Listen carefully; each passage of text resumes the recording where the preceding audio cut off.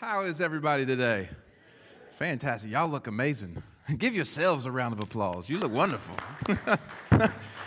I uh, just special thank you to Donnie. I, I, took a picture. I've got my wife and my daughter with me this morning. I normally come solo, but I took a little picture with my daughter and I sent it to Donnie and I just said thank you for trusting me uh, to share my heart with the family here at Macedonia. So thank you guys.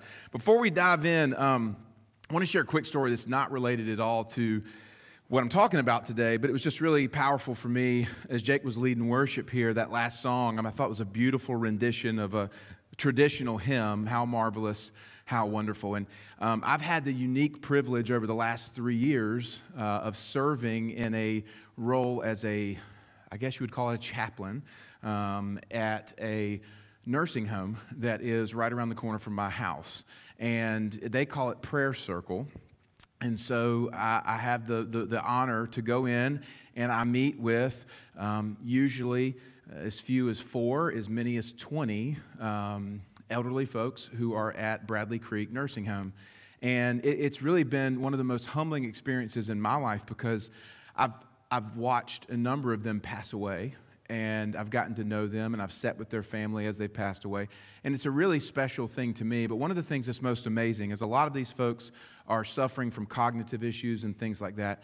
But it continues to amaze me that when we get together, I will put on an old hymn and they know every word. And it's wild because they, they can't remember the story they told me two minutes ago, but they can sing every word to how marvelous how wonderful. And I think about this concept, right, of, of that's just been something that they've done for years. They've heard these songs, they've sang these songs, and when they hear the music, they come alive in just a special way.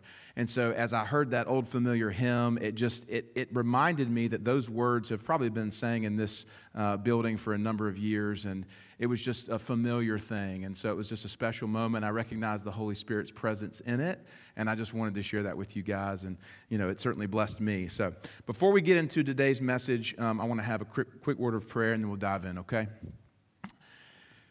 Father God, we pause at this moment and we just set down everything in our lives, in our minds, in our hearts that may be hindering us from experiencing you in greater measure and in greater detail.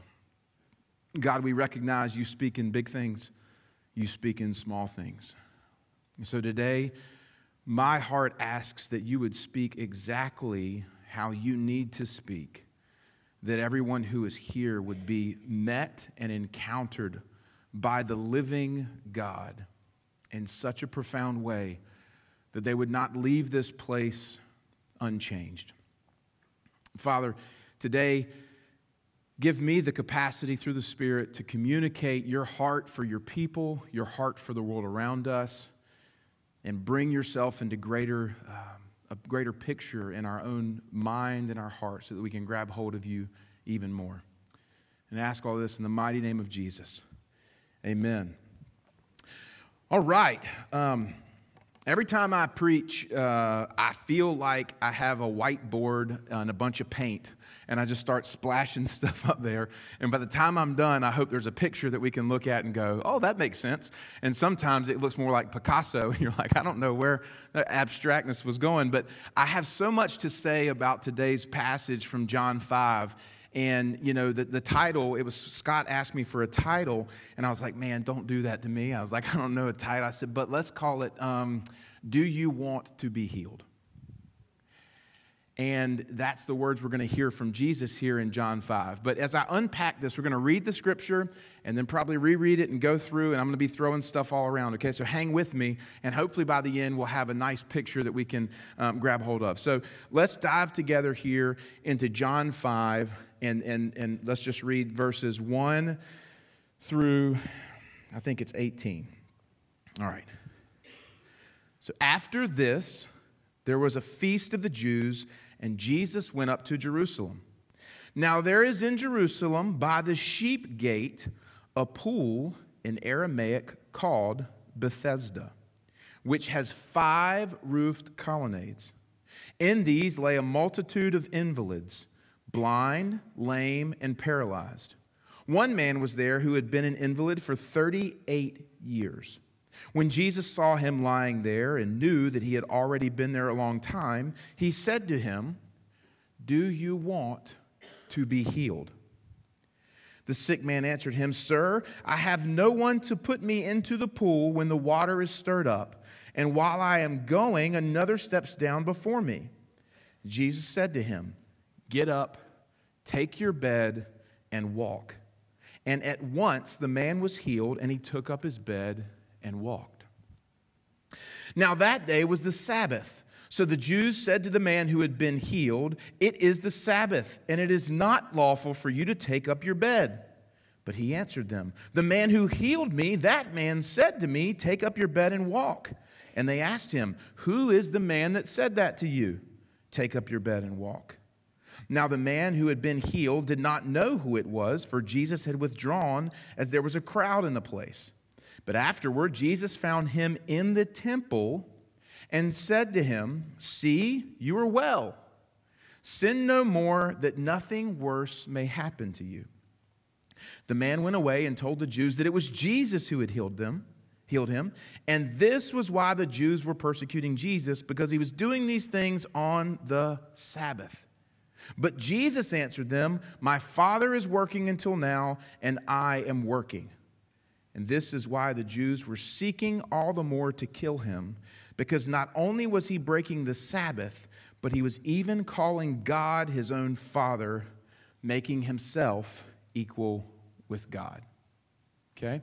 That was the ESV, um, John 5 1 through um, 18.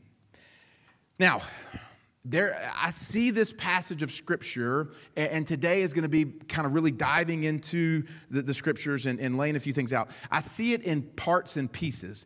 And so, the way that I approach this scripture and the way I want to do it today with you guys is to treat this kind of like the onion. And we're going to have the outer layer and then the center layer. And hopefully, in the middle, there's this gold nugget hiding in the middle of the onion that we can get down into. And I think a lot of times we look at this passage of Scripture and we think about the physical nature of what's going on here.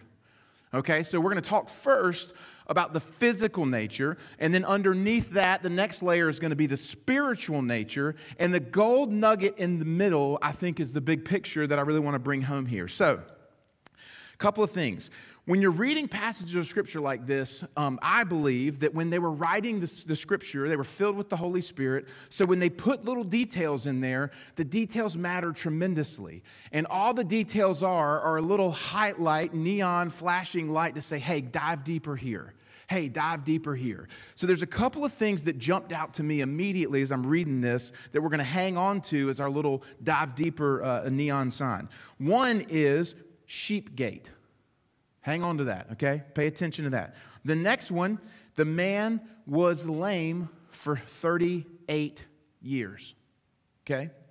The other concept here is this idea of the water, okay? And, and, the, and the last piece of this is the Sabbath. So, those are the four kind of areas. When I read this, the Holy Spirit's just going, hey, pay attention to this. Hey, pay attention to this. And so, we're going to break this down as we go through these things. So, understanding the context of this, which, by the way, if y'all have ever seen The Chosen or have not seen The Chosen, you need to go online and you need to look up The Chosen, season two, I think it's episode four. This is acted out in a beautiful way that really brings it to life.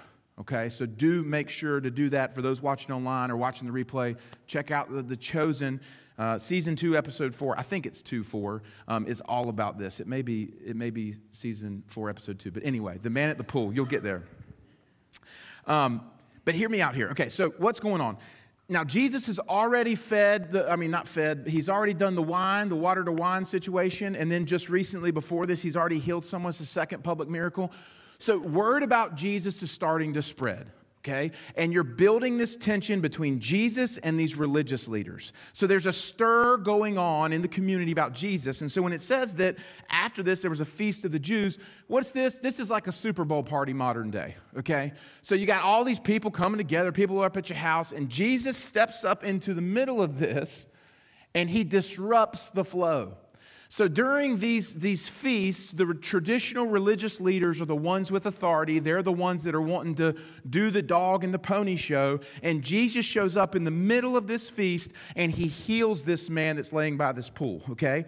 What's interesting about this pool is where the city of Jerusalem was laid out, the sheep gate is on the northeast corner of Jerusalem. And what's really interesting about this is this is where they would bring the sacrificial lambs through the sheep gate to the altar at the temple to be sacrificed. But on the way through the sheep gate, you have this pool that is called Bethesda, okay? And what you have are all of the invalids, the lame, the blind, laying by the sheep gate. And so it's a pretty wild picture to consider. Now, also consider Jesus has been through this gate many times. He's in this part of his ministry, probably 31, 32 years old. He's come in and through Jerusalem. We know this man's been there for 38 years, so it's interesting to consider that Jesus has actually probably passed by this man and these, these folks before. But something's different right now where the timing of God is going to meet the needs of a man, and you're going to watch a miracle of God happen. And so I think uh, one of the things on the natural side of this and the physical side, we want physical proof or healing in our own lives. And, and, yet sometimes it's hard for us to wrap our heads around that. And maybe we've prayed for someone who's been sick and they have passed away. Maybe we've prayed for a miracle and it hasn't happened. Well, think about this. This man had probably passed or encountered Jesus a number of times before the timing met up for the miracle to take place. And so, a lot of times in the natural, when we want things to happen, it's simply a matter of the timing of God and the purposes of God are not necessarily in alignment.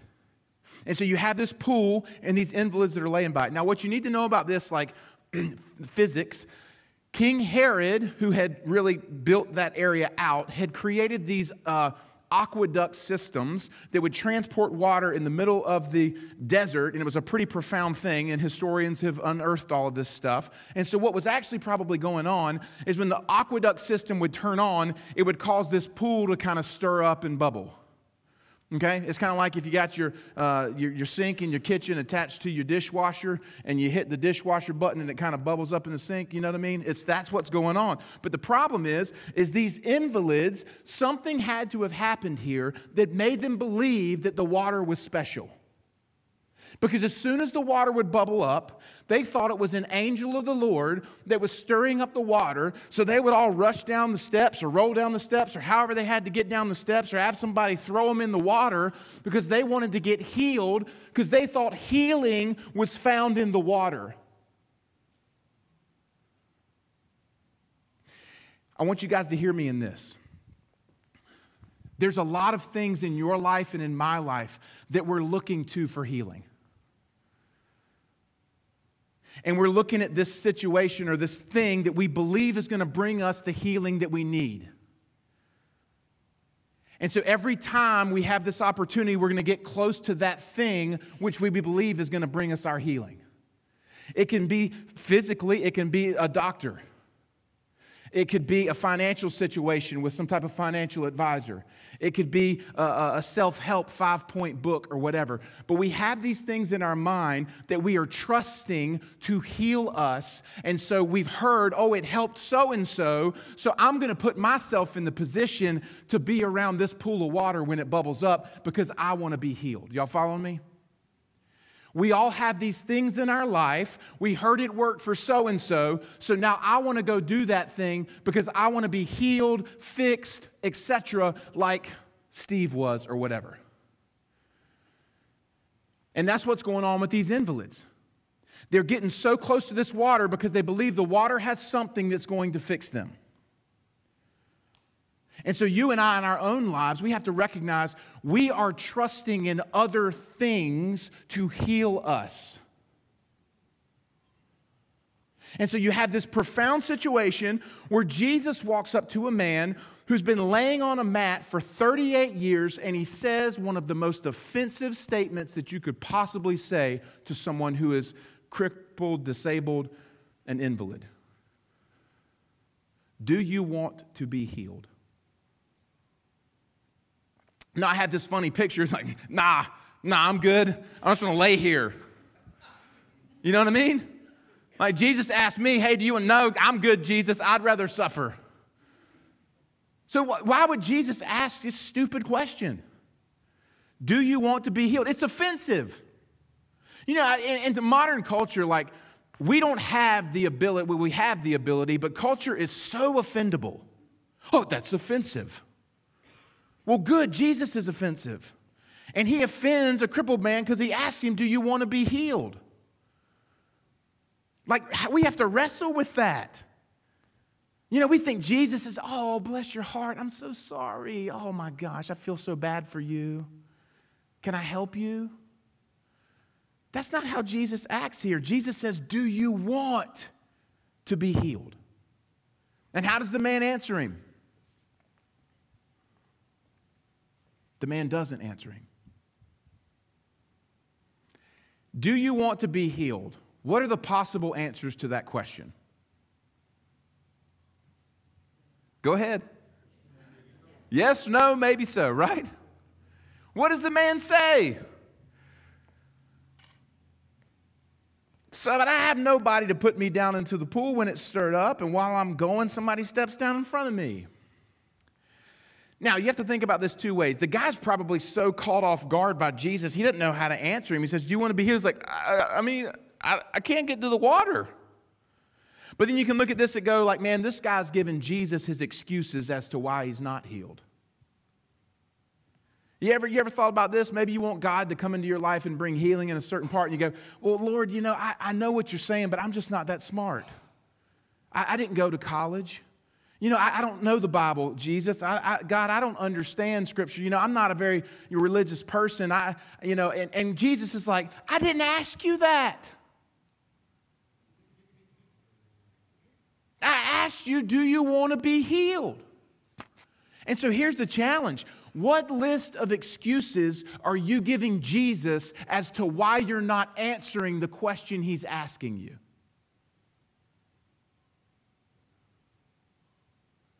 We've got to get honest sometimes that Jesus is looking at us with a plain question and we're giving him a list of why it hadn't happened yet.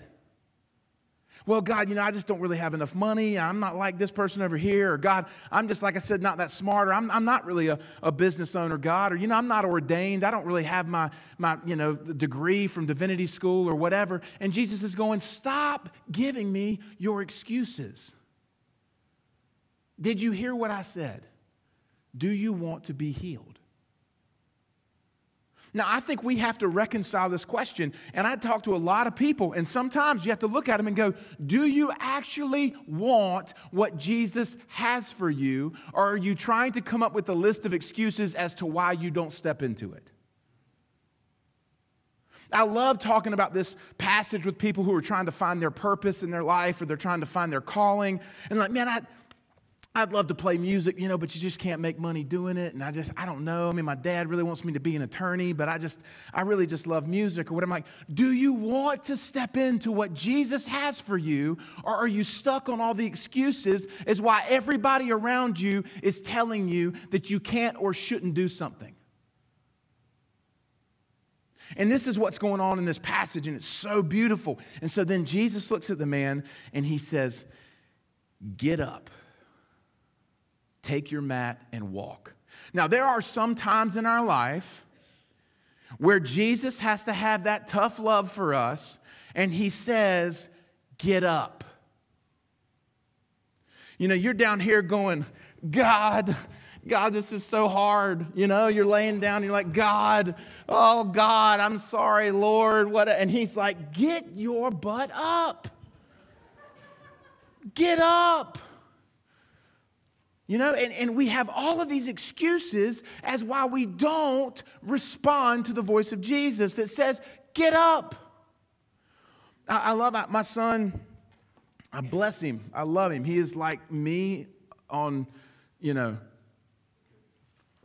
some type of drug. And he's the most exaggerated version of myself in the best ways and the worst ways, right? And he'll probably watch this and be like, Dad, why'd you talk about me? Um, but like the other day, I said, you know, buddy, you just need to just to do this. He's like, Well, how do I do it? I said, Just do it. Well, how do I do it? Just do it. You know, this is Jesus going, Just get up. Get up. And this man has to get over and overcome his lack of faith. You see, the issue a lot of times with healing or deliverance or victory is that you and I don't actually believe that Jesus is who he says he is and he's good enough to do the things that he's asked us to do. And so participating with the Lord is having the faith to say, all right, I ain't walked on these legs in 38 years, but I'm going to try to stand up on them. And that's what happens. And the man gets up and he takes his mat and he walks away. Now, that's the physical side of this. That's one layer of the onion. And you're looking at this and you're going, okay, all right. I got to get over my excuses. I got to listen to Jesus. And I got to get up and I got to move forward, okay? That's level one. Time for level two. What happens after this? As soon as the man gets up, he's immediately attacked by the religious leaders. As soon as you start to step into God's breakthrough in your life, people are going to criticize you. As soon as you start to step into the healing that God has for you, the world is going to condemn you. As soon as you start to do something radically crazy for the Lord, people are going to start to throw rocks.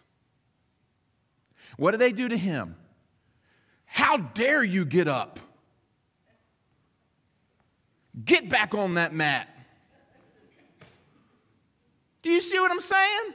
This is what they're doing to Jesus. I mean, to this man. They don't praise God that he was healed, they condemn him for being healed on the Sabbath.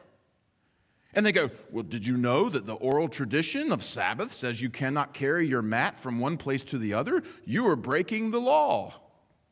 And this man goes, Yeah, bro, but look, my man, he's like, I'm, I'm healed.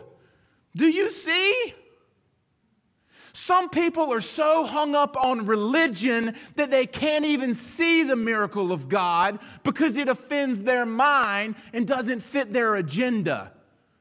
Thank you. I got an amen. Yes, amen. Do you understand that we live in a culture that is so indoctrinated in religion that they miss the miracles of God because it doesn't make sense to them, it offends them, or whatever else? So we have to go, man, am I that Pharisee? What about somebody just got delivered from a heroin addiction? Well, I mean, you know, it's good and all, but you don't fall back into it. I mean, you probably need to go get a, a job and you need to. No, bless Jesus. Praise God. You know what I mean? A marriage that's healed. Well, yeah, I make sure you probably want to, you know, no, we have to be so intent on what God's doing that when we see the work of God in the world, we want to jump on it. We want to embrace it and we want to celebrate it. You see, these folks were so concerned with Sabbath that they missed Jesus. And, and here's the other beautiful part about this I love this too. When Jesus runs into the fella, where does he run into the fella?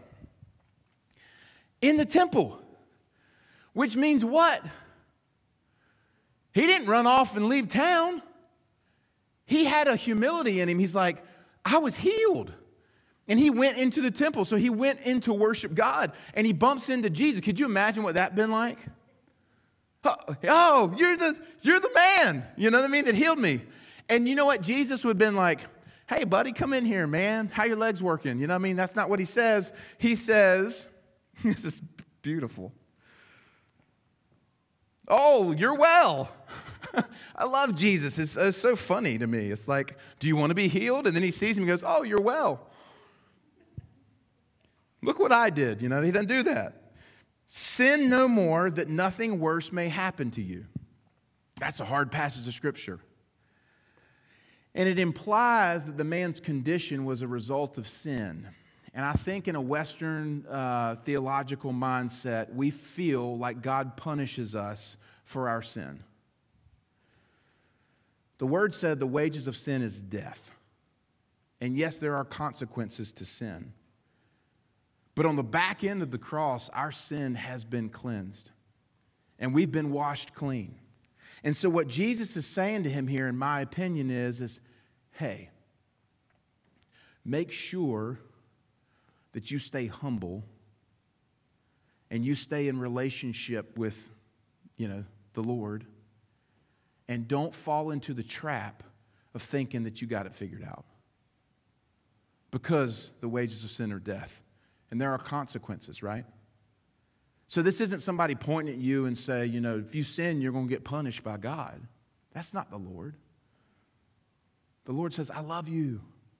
I healed you. Go and sin no more. It's the same thing when Jesus gets down on his knee in front of the lady that's caught in adultery, and he says, If any of you is without sin, go ahead and throw a stone at her.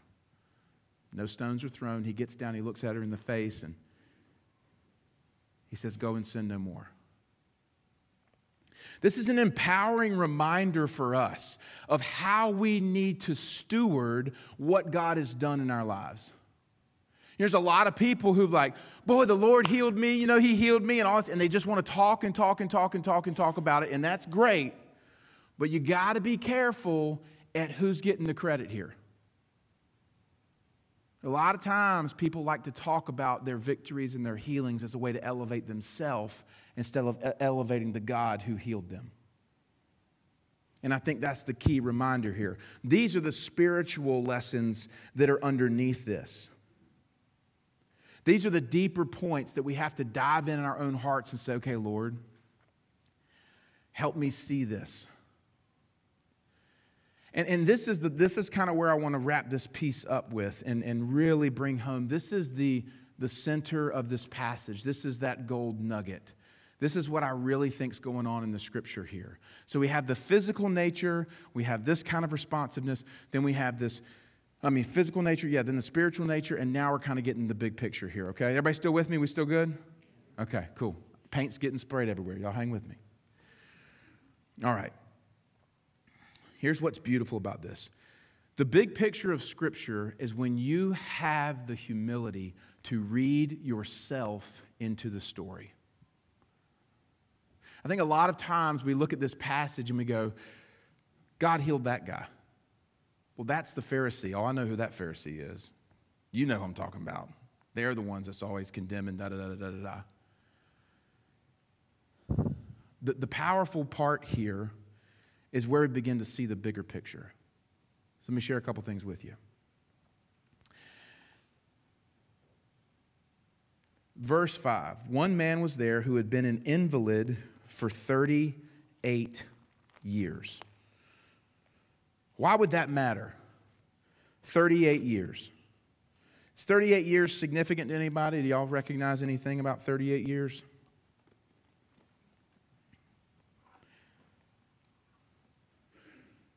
after God delivered the Israelites from slavery in Egypt.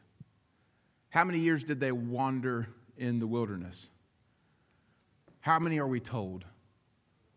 40. Deuteronomy 2, verse 14.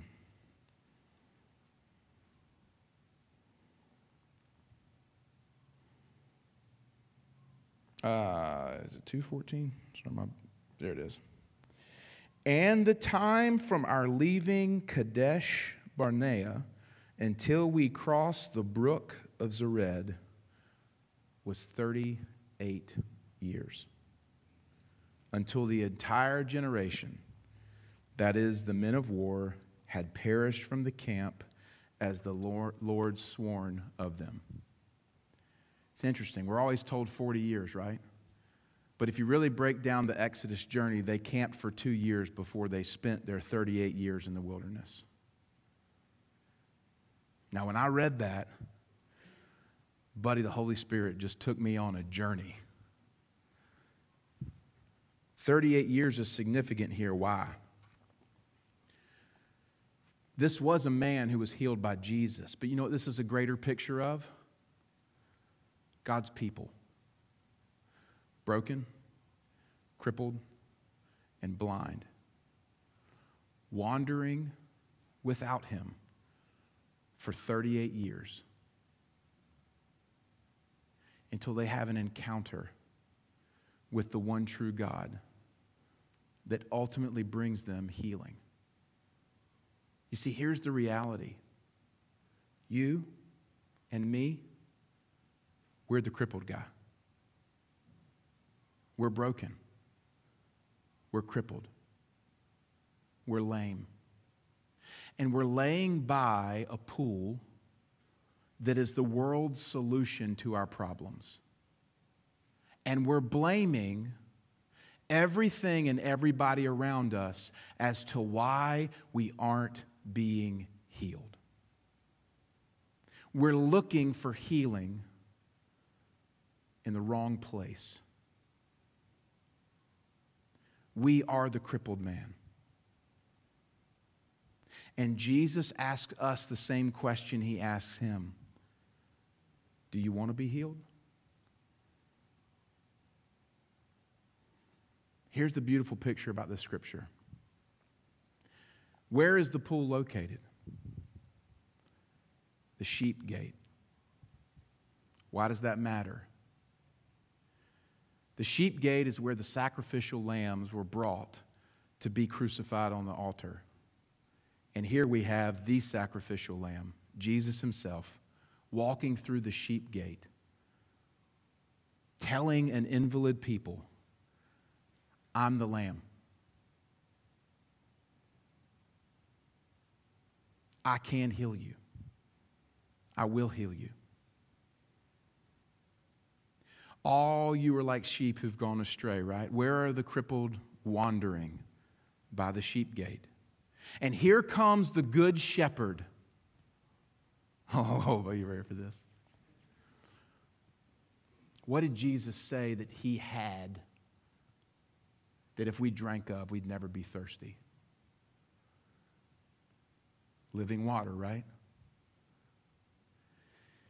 See, Jesus comes to us and he says, I know you want that water. You need my water. I know you're sheep that have gone astray. I'm the good shepherd. Do you want to be healed?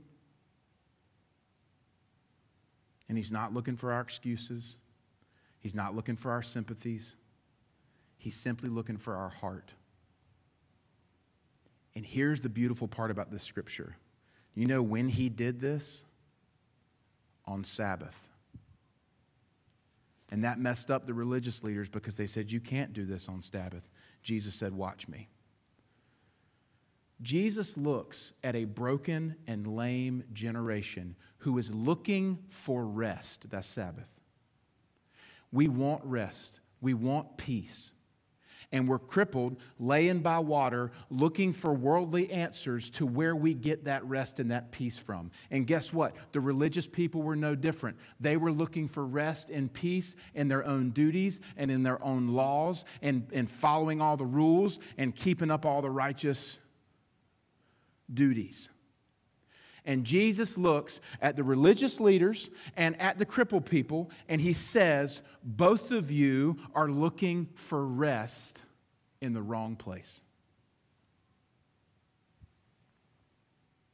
Here I am.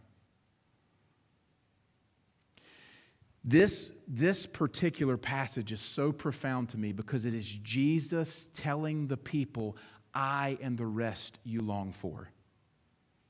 When you're wandering in the wilderness, I am your promised land.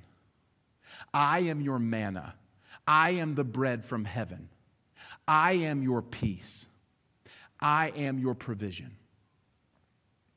And so the question we have is how do we respond to the words of Jesus that says, Do you want to be healed? You notice this man didn't have to do anything to receive the healing that Jesus gave him.